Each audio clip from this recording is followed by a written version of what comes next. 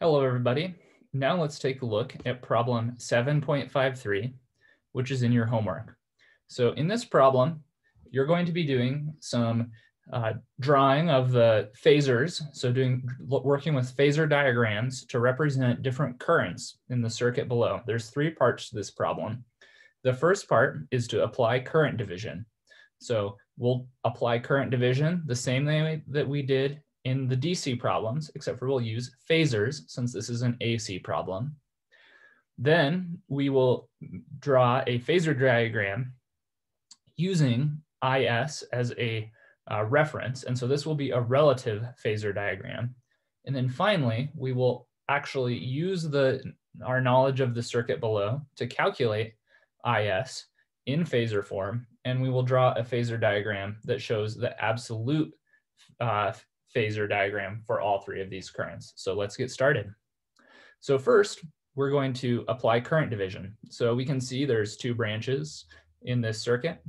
IS is going to split between the two. We're going to use current division, just like we used in many DC problems. So to find I, branch in I1, we'll need to multiply by the, uh, the impedance in branch I2, divide by impedance in branch I1 and I2 and similar for current I2. All right. Again, as I mentioned in another video, you can solve this much more quickly using a calculator. So make sure that you know how to use your calculator to quickly do this type of, of problem. Otherwise, it may take you quite some time. So we can find the rectangular form of I1 and I2 as a function or in terms of IS and then we can also convert this into the phasor domain, again, quite quickly if you know how to use your calculator. So make sure you know how to do that. Now we've completed uh, um, part A, where we have represented I1 and I2 in terms of IS. So with that done, let's use IS as a reference because we don't know what its phase is or its angle is. And let's generate a relative phasor diagram showing the sum um, is indeed satisfied. All right, so we're because we're assuming IS has a zero degree reference, I've drawn that uh, completely along the real axis, right? If it had any imaginary component, this would add an angle to it, but we know it doesn't. So I've drawn IS here. Now, I1 and I2 can be represented uh, here in um, green and in purple. And we can see that uh, in, in reference to the current IS, I1 is minus 53.1 degrees below the real axis, and I2 is 36.9 degrees above the real axis. And so these angles are relative to IS. But what if we were to solve this equate this whole circuit and find IS? Well, then we could find the absolute angle of I1 and I2. So let's go ahead and do that.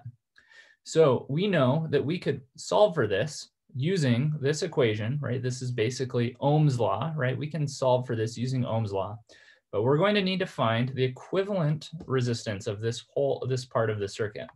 That's probably the trickiest part of this. And again, make sure you know how to use your calculator so that these calculations go very quickly so that you can uh, convert rapidly, right? Because it's difficult to do uh, multiplication and division using rectangular complex numbers, but a calculator can do it easily. So we can see that the equivalent uh, um, impedance is going to be this 5 ohm resistor plus these two branches, which are in parallel. So 4 plus J4 is in parallel with 3 minus J3. so, and we can also know from this circuit diagram that the voltage source has zero angle and has a magnitude of 10. So using your calculator, you can quickly find the polar form of this, 1.19 e to the j 3.3. So this is the actual current IS. Recall that I1 and I2 we have already found in terms of IS. This was the first part that we solved for in part A. If we multiply them together, right, now that we know what IS is, we can solve for the actual phasor, I1 and I2, uh, when we know what IS is. So let's plot these on a phasor diagram and find the absolute diagram. Okay, so plotting all three of these, we can see that IS is just above the real axis, 3.3 degrees. The I2 is 40.2 degrees, 40.2 degrees above the real axis. And I1 is 49.8 degrees below the real axis. So this is how to use phasor diagrams, and you also got to see how to solve a circuit using phasors. I hope this helps you, and I look forward to seeing you in the next video. Goodbye.